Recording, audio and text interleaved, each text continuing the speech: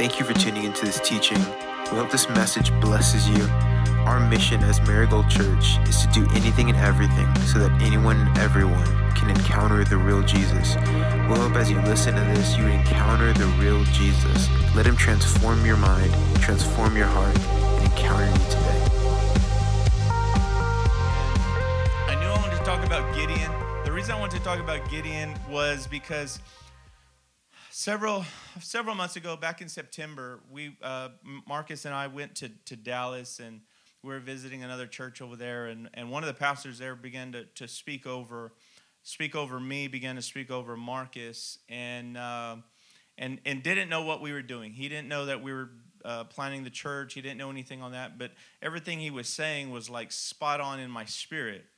And then uh, just about a month ago, we were doing a uh, we have a, a, church board. We have a, a, board like a legal board that makes uh, decisions and and kind of oversees uh, just finances and just responsibilities and, and of that kind of nature. Just uh, and so we were meeting and then one of the pastors on the board um, and at, most of the, the the board is made up of of pastors other churches or uh, part people from other ministries and things of that nature. And and so one of the pastors began to speak, and it was so much in line with what was spoken in September, and it just kind of rattled in my head, you know.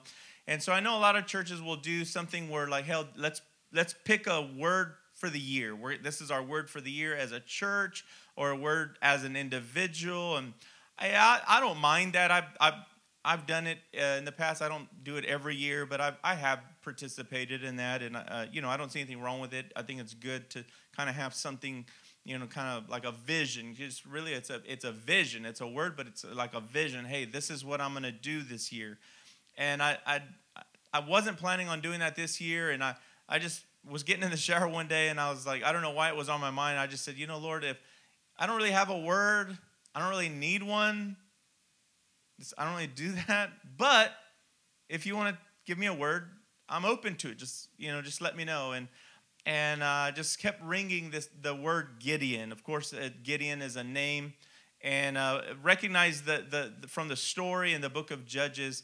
And so I want to just I started to just speak uh, like think of what I what everything I knew about Gideon. Okay, so that's typically what I'll do. I'll okay if I'm if I'm going to speak on a person or something, I'll try to write everything I I know or think I know, and then I'll go to the scripture and weigh that. Right, like okay, what what lines up and what is what is stuff that I just threw in there from whatever, you know, just like oh I thought this or oh wait i'm mixing up this guy with some other guy that in the bible stuff like that. So i began to do that and i was still stuck still stuck. And uh, didn't really know where i wanted to go with it but uh, last night in the wee hours of the morning is usually how i, I do it. I'll stay up real late and until something comes and and finally something started to click last night and i was able to finalize it but i want to turn to the book of judges if you would in your bible and uh, to the to Judges chapter six, you'll find Gideon is in chapters six, seven, and eight. And uh, I'll give you a kind of a rundown or an overview of, of the book of Judges. But first, let me pray. Father, I thank you. First of all, thank you for your presence being here. Holy Spirit, I ask that as people would hear my voice, Father, that they would hear beyond my voice. That, Lord, you would speak to each and every one of us in this room by your Spirit. Lord Jesus, that's why you ascended to heaven, because you couldn't be everywhere at once. But Lord, your spirit can, and your spirit can dwell within each and every one of us and in the room with us, around us. You can be anywhere and everywhere all at one time. So we thank you for that. We thank you, Lord God, that you would speak to our hearts, that you would speak something new, a renewing in our mind. In Jesus' name, amen. So one of the interesting things about about the Bible compared to most uh, you know uh, religious books is the Bible is filled with history. We have a lot of history, but it's not just man's history. It's it's really God's history. It's history from God's point of view. It's His story from his point of view. That's how we can have the Genesis account, which is the very beginning, and we have the Revelation account, the Genesis account, God only God was witness to that. But he so he gives us the history of that. And God has already seen Revelation. So he's giving us that. He's given us Genesis all the way to Revelation. It covers from the very beginning of time all the way till time ends. And so Judges is that is one of those books. Judges is a history book. In fact, Judges and Ruth are very much one in the same book. Ruth being a continuation of Judges. So when you whenever you see Judges, Judges goes right into Ruth. So Judges is a history and it's written during the time of Saul. So even when it's written, it's written looking back at the past. So Judges is all of Judges, you'll see that it'll it'll use this phrase, there was not a king. There was not yet a king, or a king was not yet, or uh, this was in the time of the judges or the prophets. There was not a king. So there was there's a lot of of sub, uh, subject matter in there that's that's pointing to the fact that these things keep happening and there's no king. The people need a king. And so Judges and Ruth are both written by Samuel, who anointed David. So, and you'll see, and we'll, we'll, if I get into, if I have time, we'll, we'll point into this. But Judges is written at the time, or about a time that's that there's no king, but during a time that there is a king, King Saul. King Saul was not a very good king. And so the people knew it. There was there was a lot of issues. And so that's why God said, "Look, Saul, you're out. David is in. So Samuel secretly anoints David. And so now there's a process of David coming in. I believe that Judges and Ruth are a part of this process because it's getting the people ready for a new king. This is a book that is out, it's distributed, it's during the King Saul. Like, look at what is happening. We wanted all this stuff was happening because we didn't have a king. Now we have a king, and the same stuff is happening with our new king. Something has to change. And so you'll see where Judges has this cycle, okay? And we'll, we'll, we'll look at that. We've, we've talked about that, where, where the things of God are straight and narrow.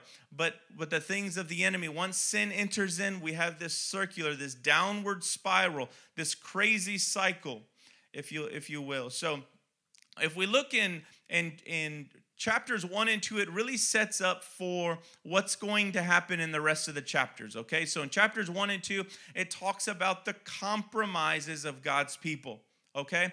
One of the compromises was they were allowing evil people to live in that land. Now, the people of Egypt, or the people of God lived in Egypt for 400 years, right? All right, that was a judgment. That was a judgment on the people, right? So now there but it's giving it's giving these wicked people to even take their wickedness even further to bring it to its fullest to where it's they can got they cannot get any more evil so god in his mercy allows these people to get more and more and more evil finally he says okay this is enough there is you're at the point of no return and so at this point he has uh, the the his chosen people to go in right? To go in and take the land. Now, the problem is they allowed them, they allowed a lot of people to live. The idea was you come in and you wipe everyone out, which sounds harsh, but it's the judgment of God. It sounds harsh unless you measure it in the light of his mercy for 400 years. Now he's just dropping the hammer, right? And so, but but they allow the enemies to live, especially in the valleys. There's a lot of people in the valleys that they're like, you know what, they're down there, they're not really bothering us. It's okay. It's a compromise. So anytime you have a compromise in your life, it will come back and bite you. This is coming back to bite the people of Israel. And there's this cycle of it over and over and over. When we read about Judges, or, or, when we read about Gideon, it's in the time of the Midianites. The Midianites are the people that are giving them all this, uh, this, this rough time. They're coming in, they're stealing their crops. As soon as they, they harvest something, they come in, they steal it, they're overwhelming them, they're taking things, they're, they're just, they're overwhelming. They allowed it. Because that's the thing is when you allow compromise, compromise is never stagnant. Compromise is always growing. So you let in, oh, well, we're just going to let this one family in. They're down there in the valley. There, before you know it, there's a million of them. Because you're, you're, what you compromise will, will multiply.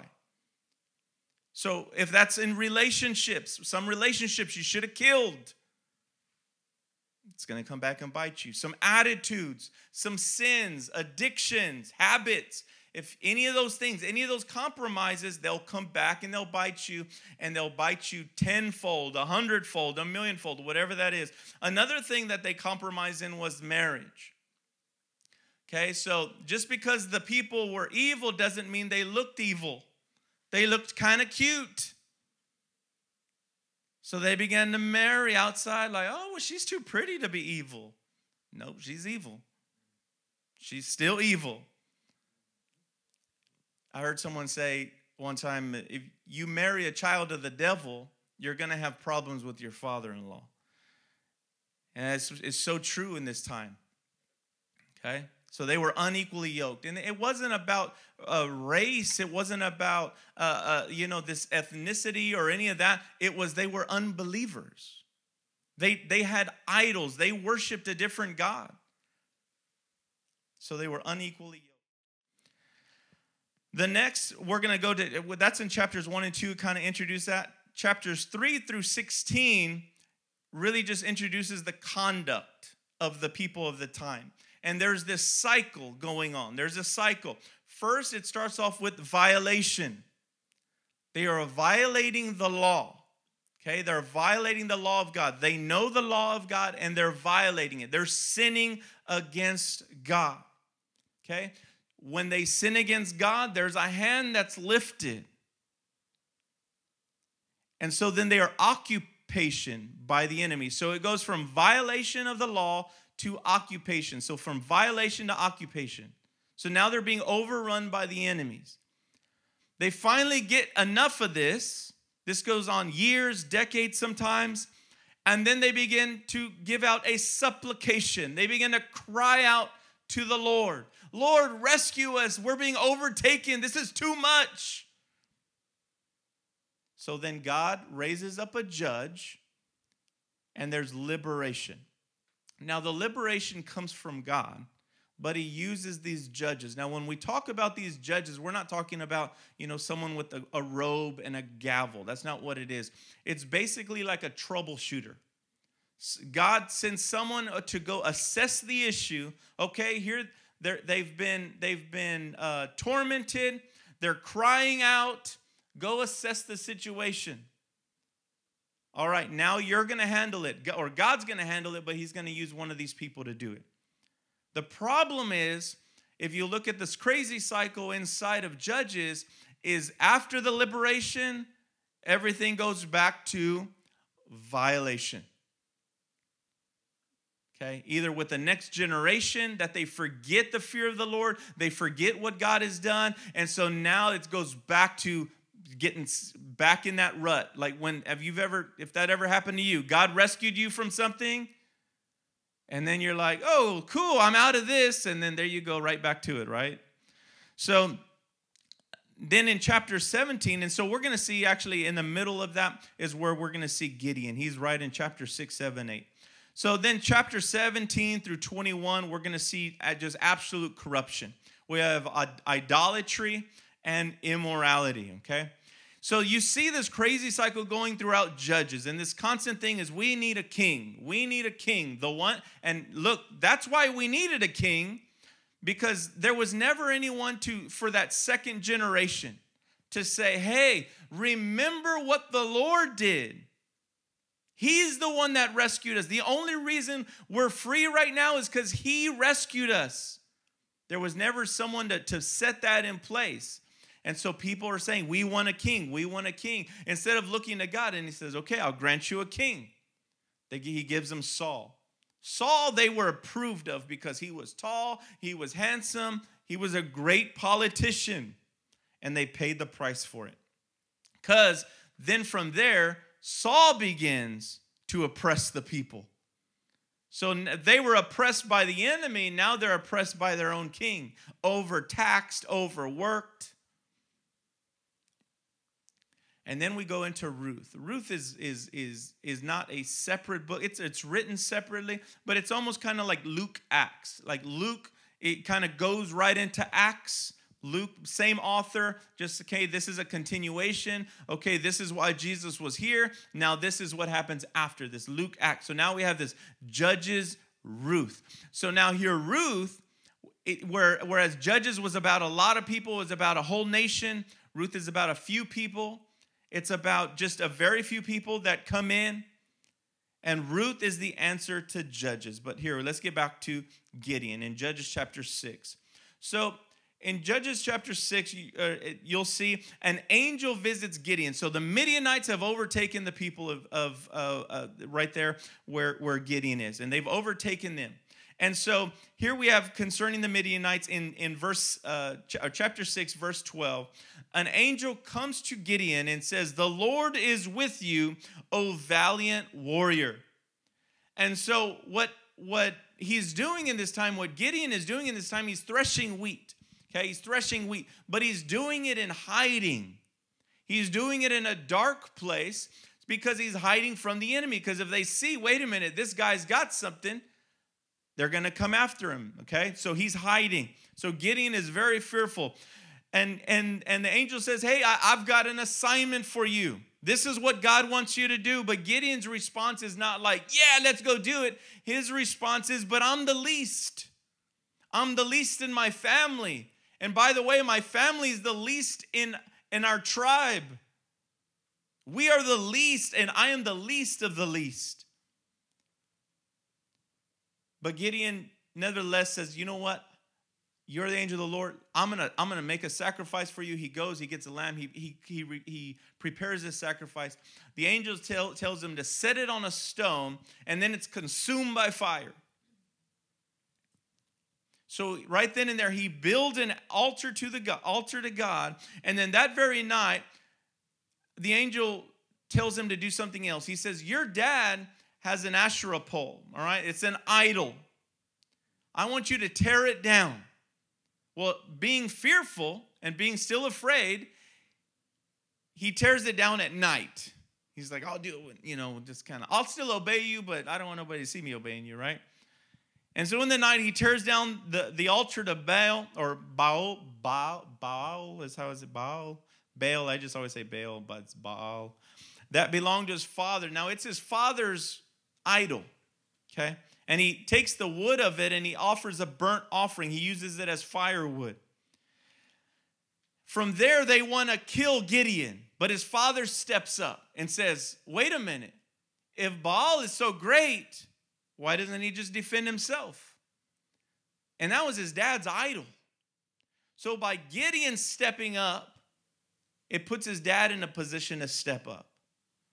So sometimes God's going to use you and your family. And sometimes you're looking for your family to step up and he's saying, "Yeah, they're going to, but I'm I'm you got to be obedient to me first. From there I can use you. From there I'll work it out." So from there, he's on this high. He's like, man, I'm, you know, I got God behind me. I'm going to go gather up these people. I'm going to gather up an army. So he sends words to some of the tribes. And so he gathers 32,000 men. But he's still not sure because he knows he's got a big army that he's going to he's to go against. So he's got 32,000 men, but he's still like, God, I need you on this. But I need a sign. Let me know if this is if this is you. And so he, he goes through the, the first sign concerning the fleece and the dew. He puts that out. And he says, Okay, okay, please don't be mad at me. This is a, another day goes. You answered me. First, you burnt the offering.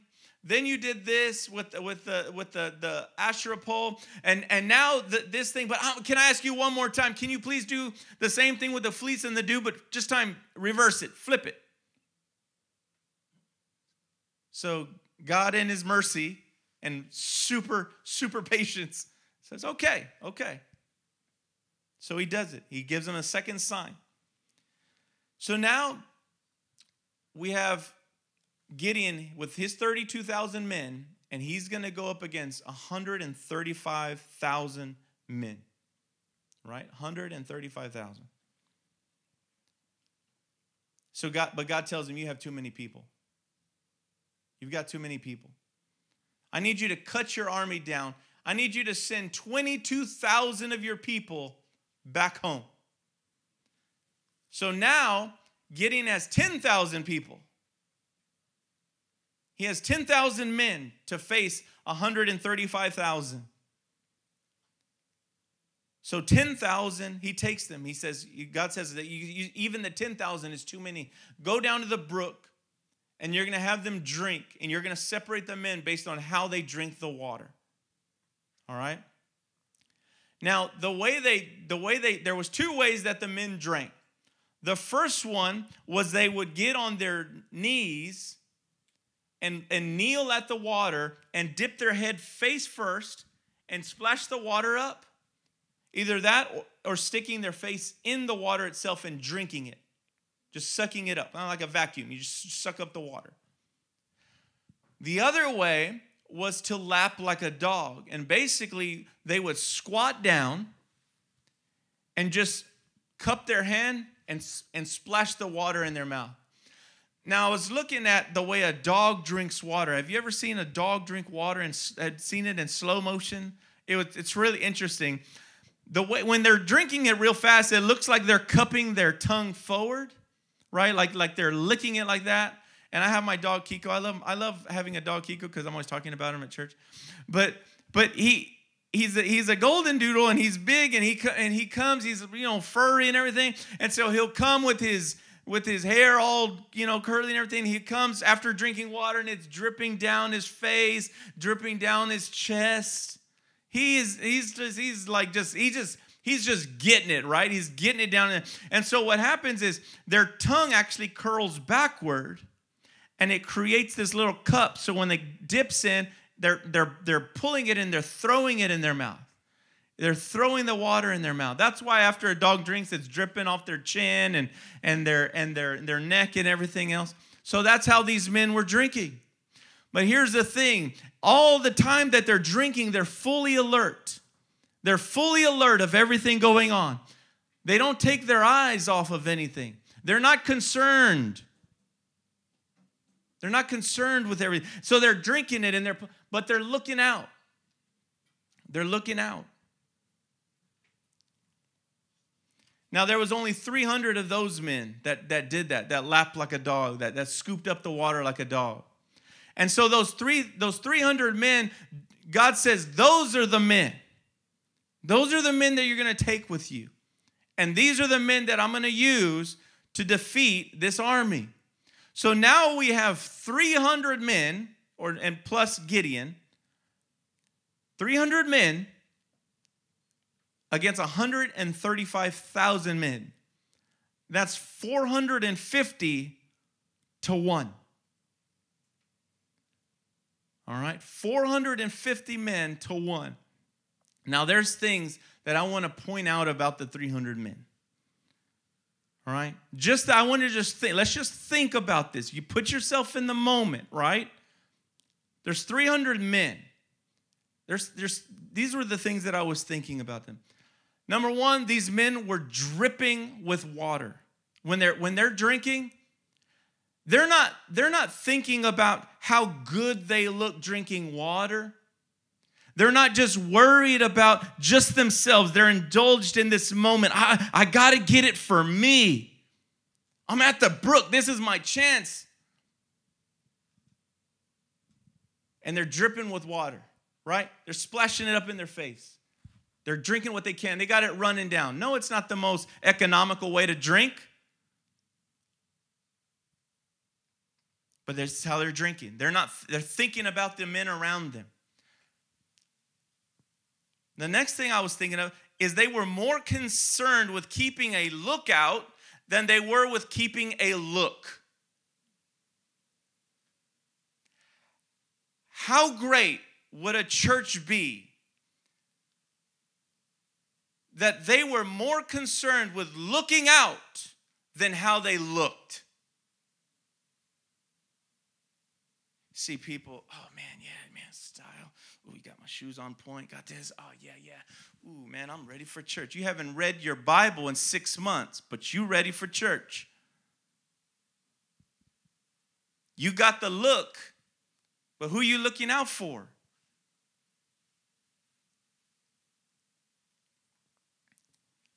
The other thing is they didn't follow the crowd. I was looking at this. Uh, so there's 10,000 men. Out of the 10,000, only 300. So that's 33 to 1 ratio, right? And I was thinking, so on average, for every one person that just decided to drink like this, they watched 33 others drink properly. And they didn't go again. They, they went completely against what others were doing. And you'd have to think these men are going against. Gideon is saying, hey guys, it's us, us 300. We're going up against 135,000. You have to be a little nuts to say, let's do it. There's people that are a little nuts are really good for the kingdom of God. Just a little. If you're completely nuts, you're useless. But if you're a little nuts, you don't mind going against the crowd. You don't mind sticking out. You don't mind being the only one. In your, let's say there's 33 people at work, you don't mind being the only one that does it the way you do it. For some, they might have seen 10 people. For others, they may have seen 70 people. But they're but they're they're going against everything that's going around them. And they stand out differently. And God says, that's that's what I can use. They're just crazy enough to, to do this.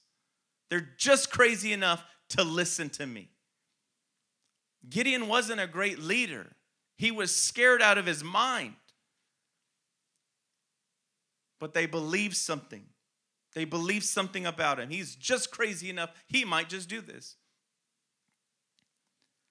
Now, Gideon is still afraid, okay? He's going to battle and he's still afraid. So he the God God tells him, "Go ahead and take a servant. You're still afraid. Go down and take a servant down with you in the valley." So the the the Midianites are down in the valley. And so here you have Gideon and they're going to circle around him but right now they're just they're just kind of grouped. They're on the outer edge. And he says go down to the valley. I want you to hear something. So i want to read that real quick. In in judges chapter 7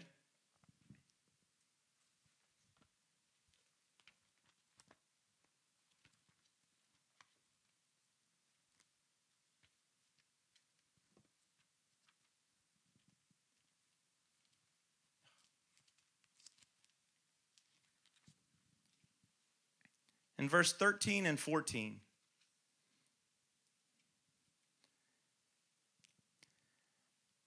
It says, When Gideon came, behold, a man was relating a dream to his friend. And he said, Behold, I had a dream. A loaf of barley bread was tumbling into the camp of Midian, and it came to the tent and struck it so that it fell, and turned it upside down so that the tent lay flat. So that's the dream. That's the dream that the man had. Now he's telling the dream to his friend. This is what his friend says This is nothing less than the sword of Gideon, the son of Joash, a man of Israel. God has given Midian and all the camp into his hand. So you have the dream, and then the friend interprets the dream. Gideon overhears this as he's spying in. He overhears this and he says, Aha. It gave him confidence.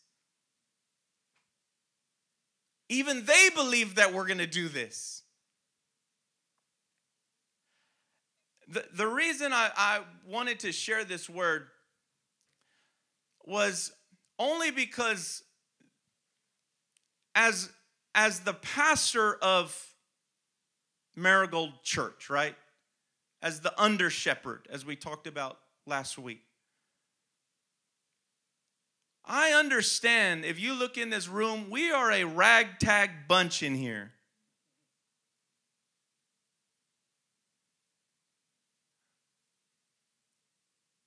And I, I, I use the word bunch very, very liberally.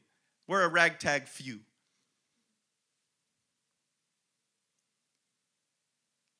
But I promise you, in 2021, you'll stick this out with this ministry, you are going to see the hand of God move.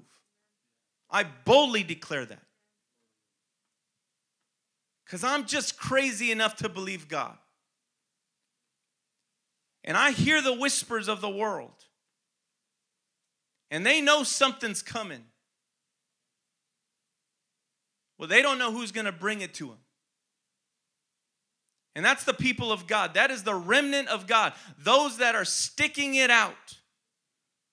Even when it's hard, even when it's difficult, even when you want to give up, even when it's unsurmountable 450 to 1.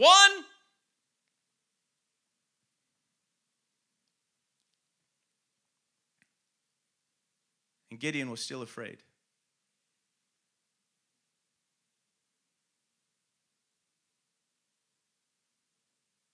I'm still afraid. So when you see me moving forward, it's not for a lack of fear. But I know God. And I know what He can do. I know what He can do with one. You see, God chose to use 300. He could have used three if He wanted to.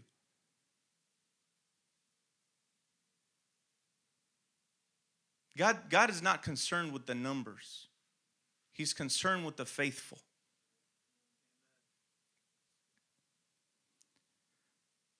Now, immediately after hearing this, what is his response? Gideon's response is not, Yeah, we got this.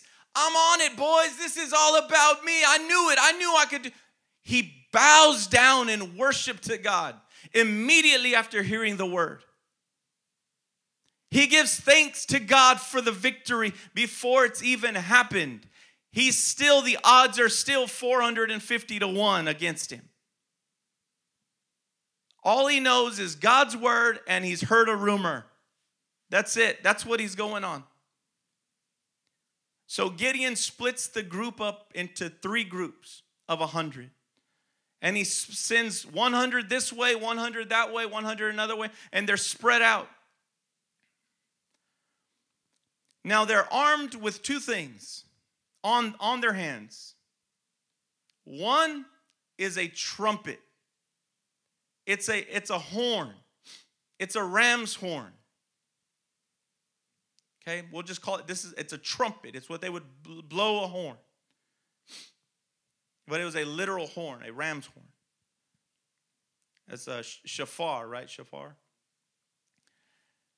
The other thing they had was a torch, but it was covered in a jar. I was trying to look up to see how big the jar was. I couldn't find anything with the jar, you know, with that, you know, that they could tell us how big the jar was. That the word they use for jar is, is made for different sizes of jars. But obviously it was big enough to hide the light inside of it.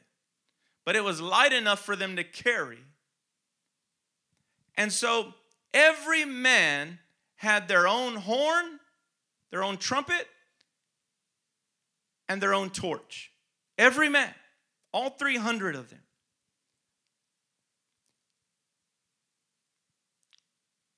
And then he gives them a sign. They break the jar to reveal the torch. They blow the trumpet, and all hell breaks loose on the camp. They begin to kill each other in such terror. Now, why would they do that? Because one horn represented a flank or a, a part of the army. So when they heard 300 of them, they thought they were outnumbered. Because they thought for every horn that they're hearing, that's a whole troop of men behind that horn. Because that's how they guided back then. There was no radios. There was no, you know, hey, breaker, breaker, one niner, take a left. No, there was none of that. It was, you go by the horn. Horn said, go get him. A certain horn said, retreat. This was a horn saying, let's attack. 300, 300 of them.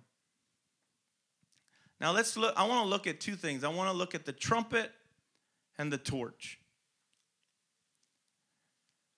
The trumpet is our worship.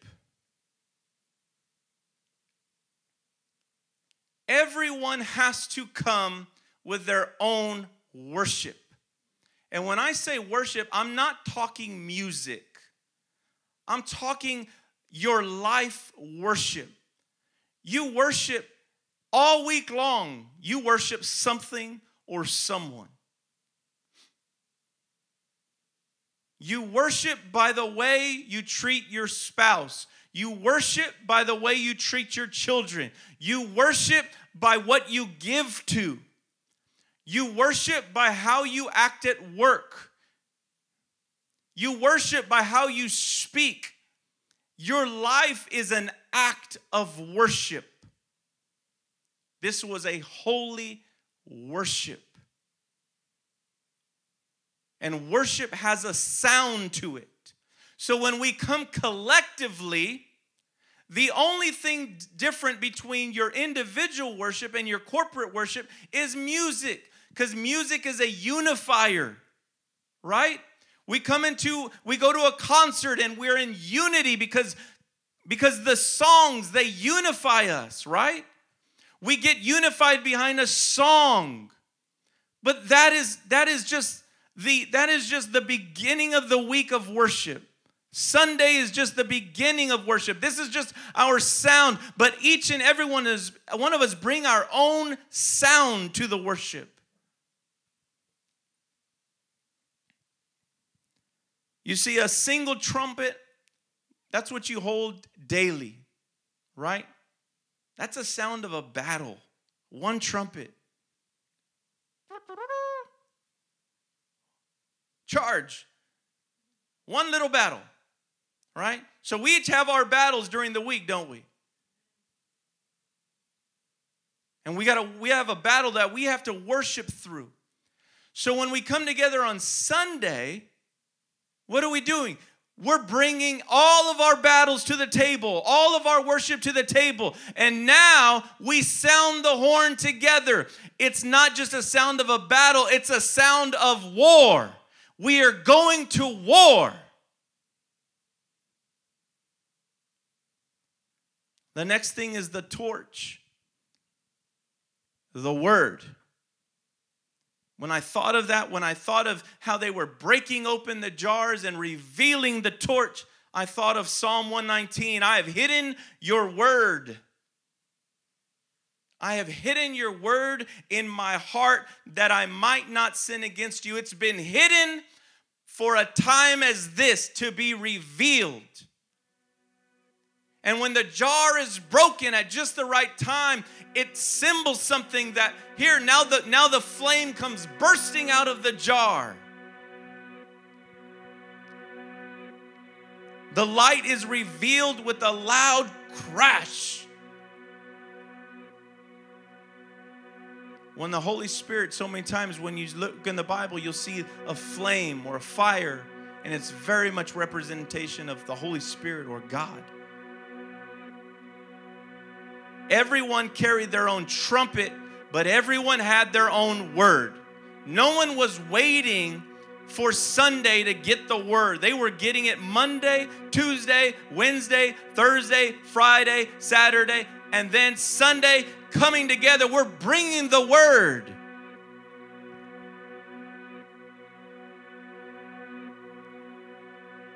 No one comes just to church on Sunday hoping to get a cracker and a little bit of wafer and a little bit of juice to get by. No, you feed yourself all week physically. Why would you not feed yourself in the Word?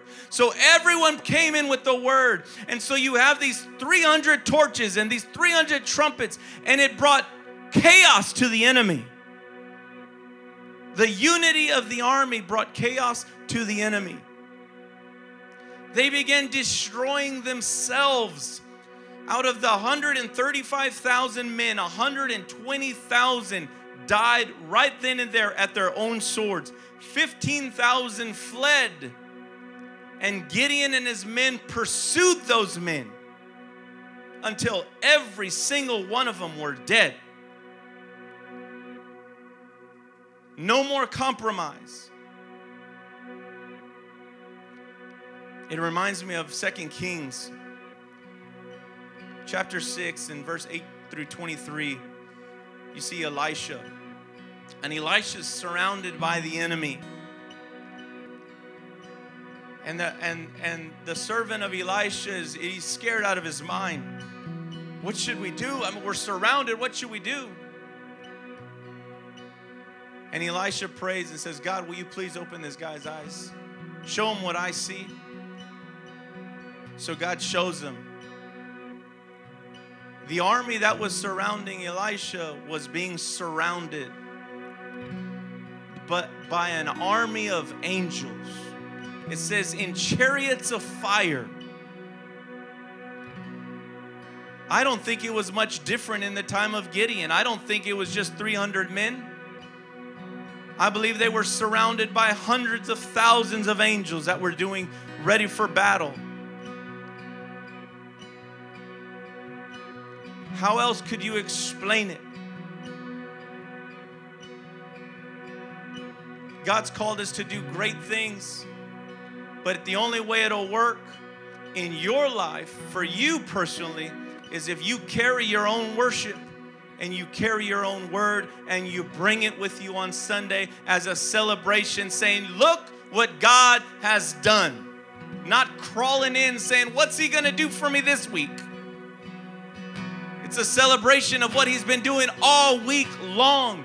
And the, just like when Elisha I mean, just like when when Gideon heard the word, he heard the word, he heard the rumors of his victory.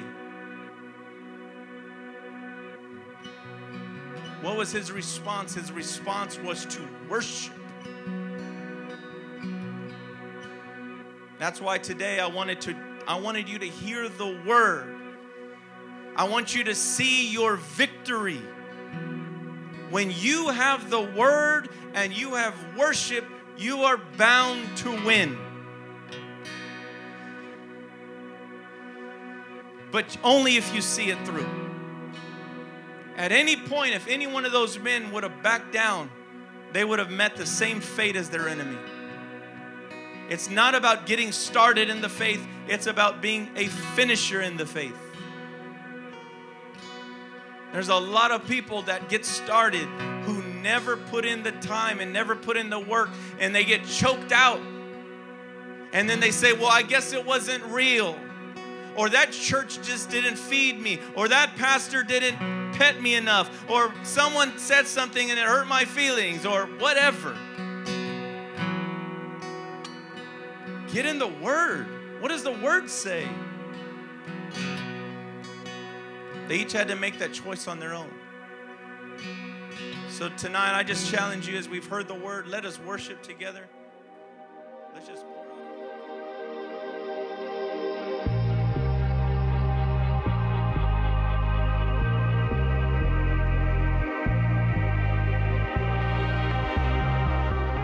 Hey, if this message or any of the content that we've been putting out has blessed you and you're wondering how you can partner with us in generosity, there are a couple ways to do that. You can download the PushPay app and you can search Marigold Church and you can give that way. You can also set up reoccurring giving and it's really user friendly. It makes it really easy to give. You could also text Marigold to 77977 and give that way. We believe God moves through a generous heart, and so we would love to see what God does through you as you partner with us and as we walk through this journey together.